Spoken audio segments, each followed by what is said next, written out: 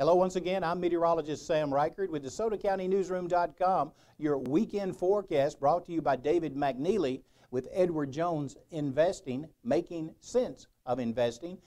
Today, cloudy, 88 for a high, 30% chance for an afternoon shower. Low temperature 74. Now Saturday, cloudy with a 40% chance for showers. High temperature 85, low 71. And on Sunday, Cloudy with a cold front moving through. A 60% chance of showers and thunderstorms. High temperature on Sunday, 83. Low temperature, 68.